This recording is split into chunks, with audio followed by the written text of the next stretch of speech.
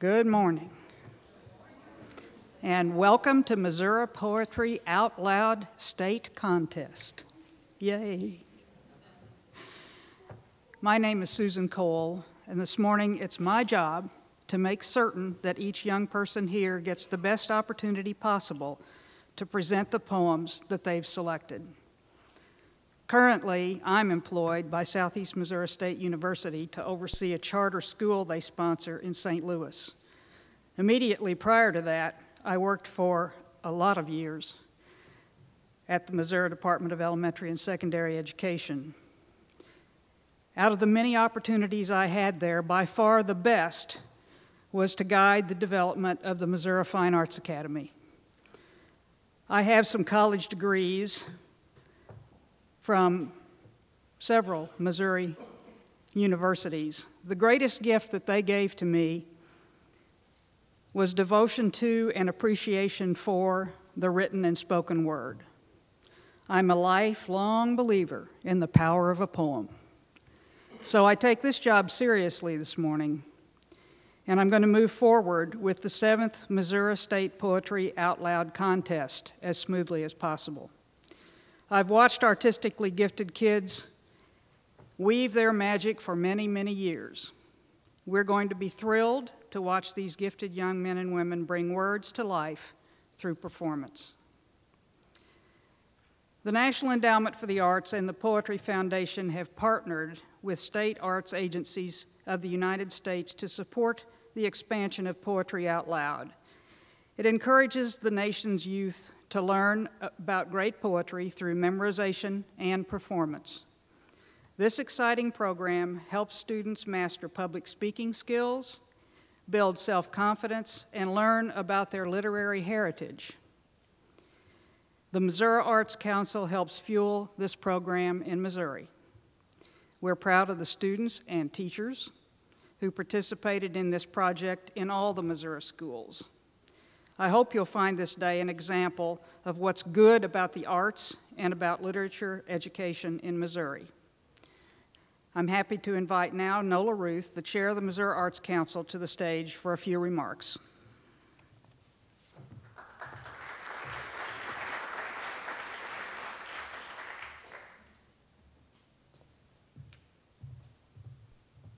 Good morning. This is the third opportunity I've had to um, attend this, and it is actually a wonderful, wonderful ceremony. What I was thinking about this morning was how many people are involved in making this happen. From the primary funder, which is the Poetry Foundation, to the National Endowment, through the state agencies, support from education, but it's also the volunteers, the participants, the students, the parents. So I congratulate you all on your efforts and what you've done to make this happen. And now I'm going to introduce a good friend of mine and a great supporter of the art, the First Lady, Georgianne Nixon.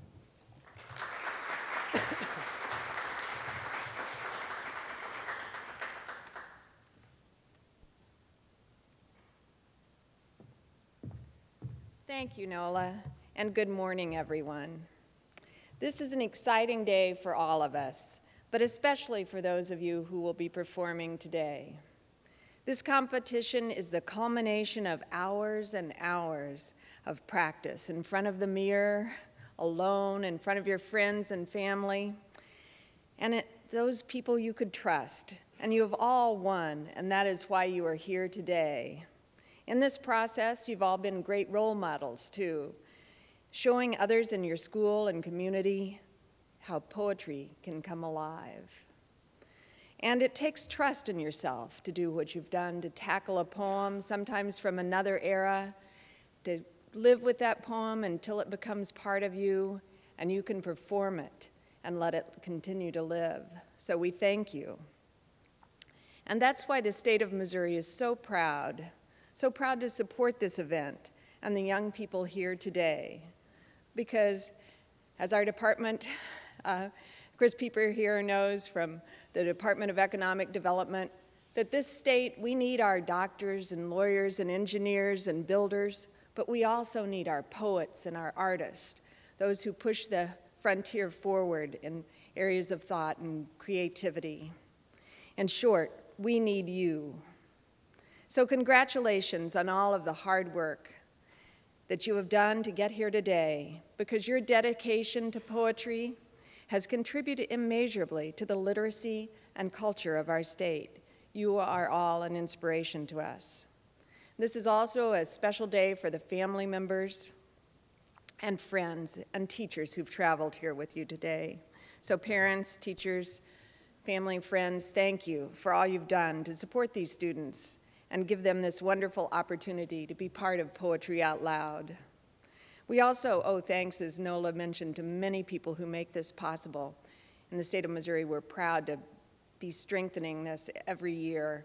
From Nola Ruth, Beverly Strohmeyer, and Virginia Sanders of the Missouri Arts Council, our regional coordinators from the National Endowment for the Arts, Russell Warning of the Etta and Joseph Miller Performing Arts Center, Michael Gaines of the Missouri Association of, Missouri, of Community Arts Agencies, Stephen Young of the Poetry Foundation, Chris Pieper, Acting Director of the Missouri Department of Economic Development, and Diane Audsley with the Department of Elementary and Secondary Education.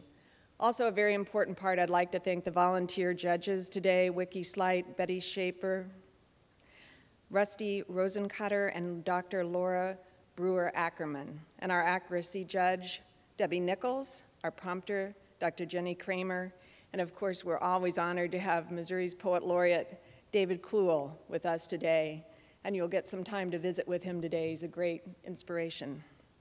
David, I'd like to thank you for your lifelong dedication to poetry as a professor at Webster University, as an advocate for poetry in schools, and what you've done as you've traveled around to schools, prisons, and community centers and shared the magic of poetry, the essence of poetry with Missourians. Thank you for everything. So I'm looking forward to today's competition, to having you all at the Missouri Governor's Mansion this afternoon, and Thank you. Thank you for keeping poetry alive.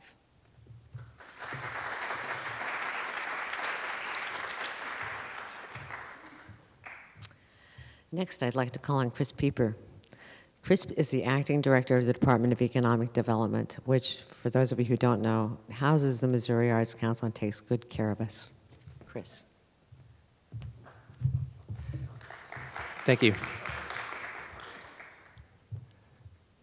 Thank you, Chairwoman Ruth, um, Madam First Lady, um, Executive Director Strohmeyer, and other honored guests. Uh, it really is a, a, a, privilege to be here today to take part in this exciting event. i will be very brief because I, am thrilled, and I think we all are, to hear these, these outstanding young poets to get started. Uh, they've worked very hard to get here, as, as parents uh, can attest, and as you young people can attest, and so we're, we're very excited uh, to hear that. I just wanted to provide some brief remarks uh, to, as Chairwoman Ruth said, regarding the, the tie between economic development uh, and the arts here in Missouri. Um, as the Chairwoman indicated, the uh, division of, of the Missouri Arts Council is actually a division within the Department of Economic Development. And I think that just underscores how, uh, as we work to promote economic development and to strengthen our communities, that the arts are a vital part of that and that when, when we look to, to grow our Missouri businesses and to attract new businesses to our state, um, they look at things like the, the quality of life, and that's represented by the vitality of the arts uh, in our state. Um, I think in addition to the, the overall quality of life, the, uh, the, the, the, just the raw numbers in terms of the economic impact provided by the arts are really staggering. Uh, uh, arts for America recently did a study that indicated that approximately $1.1 billion worth of, of statewide economic activity is attributed to the arts here in the state of Missouri. Uh, and that supports approximately 15,000 full time jobs. So uh, the arts aren't just a thing that makes our life better, but they're also a livelihood. And I think many of you in this room can, can attest to that. Uh, and I think that that study serves as tangible evidence that investments that we make uh, in the arts are investments in our overall uh, economic well being. Uh, the Missouri Arts Council is, is, is a key uh, component of, of that investment. Uh, in fiscal year 2011 alone, the Missouri Arts Council awarded uh, $7.2 million worth of grants to 584 arts organizations in 120 Missouri communities. Those are communities throughout the state. And I think there's been some very exciting work that those grantees uh, have done. Uh, there's been 15,000 arts events uh, that in fiscal year 11 as a result of that funding, attended by more than 8 million people.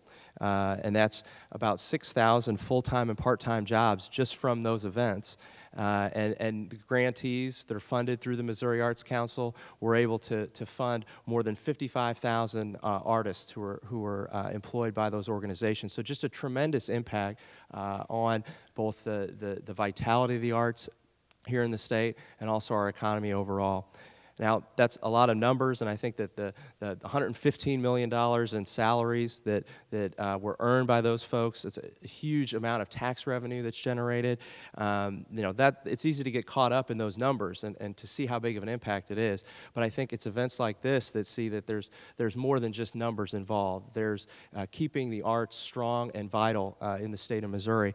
And that's why I'm, I'm really pleased to have the opportunity to, to, to see these young poets uh, to, to, to provide uh, the, what they've worked very hard to do, uh, and also to promote the uh, continued investment in Missouri arts um, at, through the Department of Economic Development. So thank you again.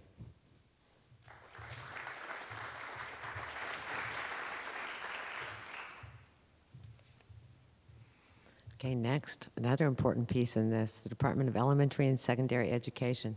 Diane Aldsley is going to talk to us about the support that they offer us.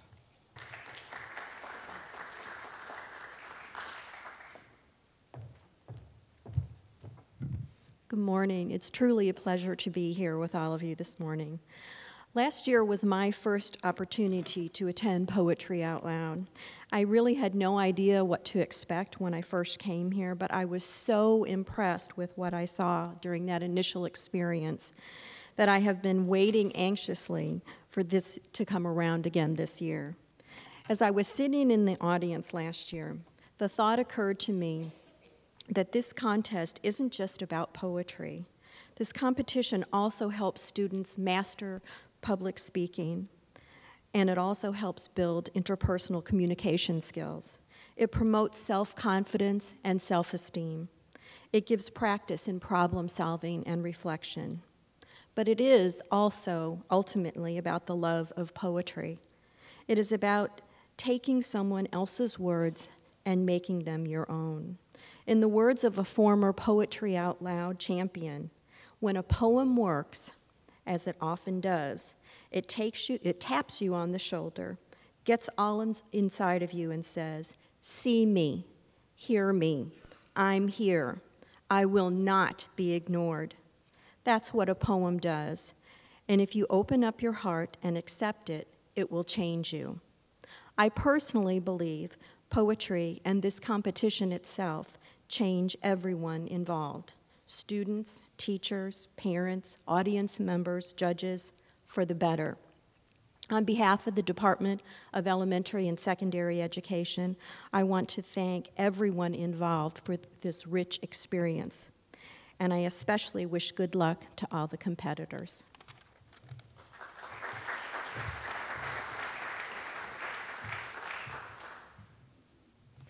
Next, we're going to hear from our current poet laureate.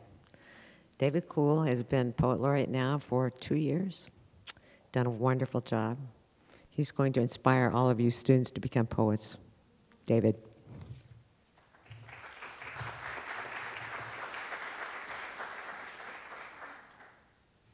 It is a pleasure to be invited back to this day of the Poetry Out Loud finals. Uh, memorizing to memorize a poem really is, as you just heard, to make it your own. It becomes part of an extended collaboration that any poem, if it is to work, if it is to be effective, it is a collaboration between the writer of that poem and the reader of the poem. When you memorize it, take that into you. By heart is the expression because that's where it lives, freely chosen. You love it, every time that hits the air, no matter where you are able to say it, that collaboration, that wonderful and necessary collaboration, extends out in some further ripples. Uh, one of my favorite by heart collaborators I've ever known was a hobo and rail rider, Virginia Slim, who I met in 1978. Slim spent a lot of time in all kinds of towns and always sought the library. He said, well, it was a place that was dry, and it was a place that I felt at home.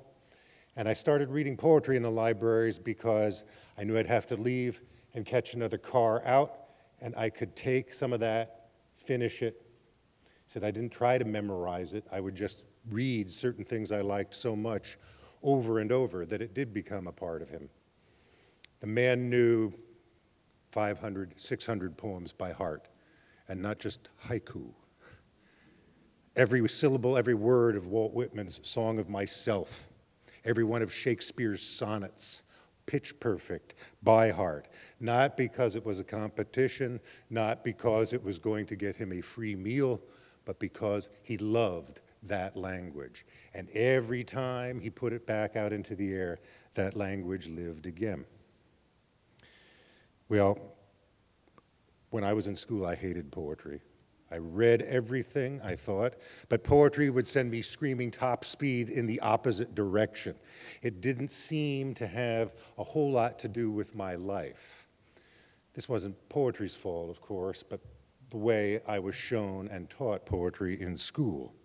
There was always a delicate flower cracking up through the ground, or a winged horse, not even a winged horse, a winged horse flying through the sky. And I looked up at 10 years old from the streets of Newark, New Jersey, and said, oh, I don't see no winged horses. Hmm? That was to change, but the change was slow. My father, who was not uh, an educated man, though a smart man, saw his son always reading, if not poetry. My beloved comic books, science fiction, flying saucers, serious business, and would always look at me a little skeptically, but then rather sweetly would say, more than one time, if you're going to be spending so much time reading, I think you should probably be reading the classics. And time has only made that comment sweeter to me. I'm not sure that my father knew exactly what the classics were but he knew what it meant. Uh, words that had lasted and that may will last into the future.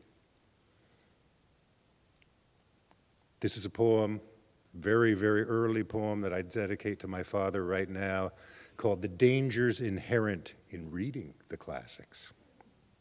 I was immersed in the story of the great white whale as I sat soaking in my tub, my body recreating the waves that Melville only wrote down. Ahab was disappearing and reappearing, strapped by ropes to the furious whale. I was watching him beckon mysteriously when the phone rang, unmistakably. When I answered, you asked if I was busy. Busy. How to explain the social mentality of New Bedford? The trail of water from the bathroom to your voice? Then, how I lost my place when I lost my footing, Ahab and the whale and the remains of the Pequod sailing through the air to the floor. The commotion confused you.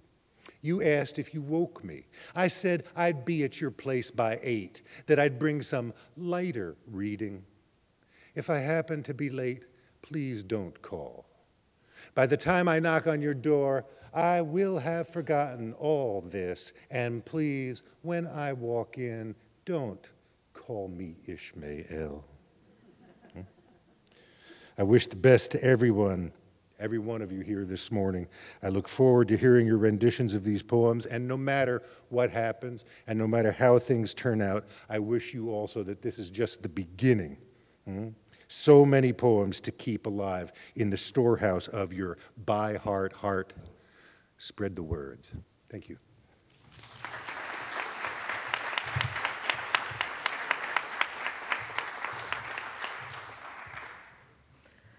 Now I have the pleasure of introducing Stephen Young. Stephen is with the Poetry Foundation.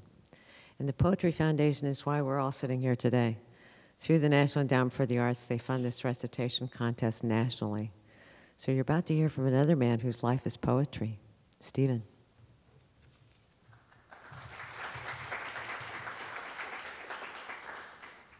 Thank you. Uh, an artist friend of mine uh, recently referred to that winged horse, uh, the Pegasus, as uh, some of us call it, it's on my tie here, as a cross between a donkey and an angel. So think about that. I'll be very brief as I recognize that I stand between you and the real reason we're gathered today. Let me give a big shoulders thank you to the First Lady, the Missouri Arts Council, and everyone in this room for your kind hospitality and your exemplary efforts in helping Poetry Out Loud to flourish here. It may be the students who shine today, but there are a great many lights turned on them teachers, parents, siblings, and friends. They deserve kudos and gratitude as well. The Poetry Foundation exists to discover and celebrate the best poetry and to place it before the largest possible audience. The foundation is just nine years old, but it grew out of Poetry Magazine, which celebrates its 100th anniversary this year. How has it survived so long, you may wonder? Possibly by publishing so many excellent poets who either were born in Missouri or took up residence in the state. One of the most famous poems it printed came from a young man who grew up in St. Louis, T.S. Eliot. The love song of J. Alfred Prufrock marked his first appearance in print way back in 1915, and it changed the course of the art in the 20th century. Other notable poets with Missouri ties who have figured significantly in the work of the magazine or the foundation include Marianne Moore, Sara Teasdale, Langston Hughes, Howard Nemerov, Mona Van Duyn, John N. Morris, Naomi Shihab Nye, and James Tate. I can remember as an editor at Poetry Magazine being delighted to read submissions from David Clewell, especially a poem or two in the vivid voice of Harry Houdini, and one about the great detecto of Boardwalk Weight Guesser. Just two weeks ago in Chicago, I, had, I heard a very talented young poet, Greg Brownderville, who teaches down the road at Lincoln University. And let's not forget Maya Angelou. All this is to say that the Show Me State has an incredibly rich poetic heritage, and I feel certain that we add to that today. Poetry Out Loud may be a contest, but at heart, it's about exploring and discovering poetry. The best prizes the competition offers are ones you regional champs have already won, the poems themselves. You'll always have them, and we're deeply grateful to you for sharing them. Congratulations and good luck to all contestants.